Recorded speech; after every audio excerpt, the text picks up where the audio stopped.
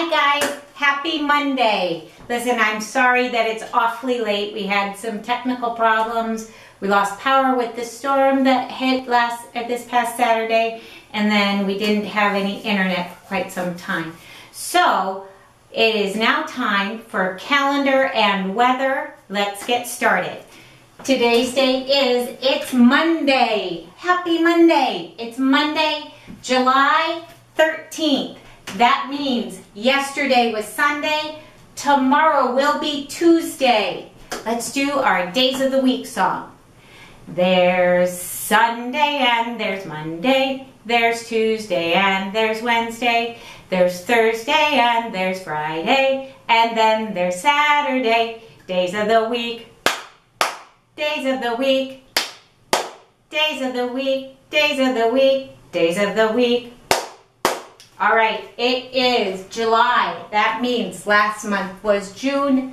Next month will be August. Let's do our months of the year song. There's January, February, March, April, May, June, July, August, September, October, November, December. These are the months of the year. All right, it is time to look out the window now because it's so late it's kind of bright because the sun is shining in the window. So you might not be able to see very much, but we know that it is sunny. It is very sunny out. So, Mr. Sun.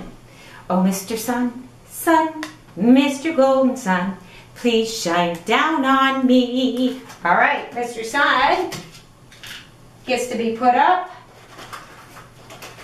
And we will put down that it is sunny again.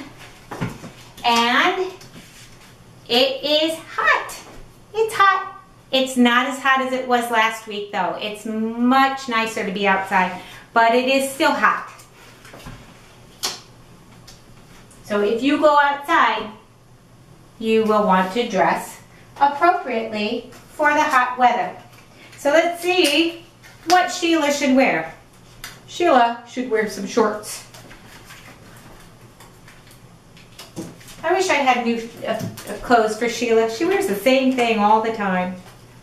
Sheila can wear some sandals because her toes might get pretty warm. It is sunny, so she's going to wear her sunglasses.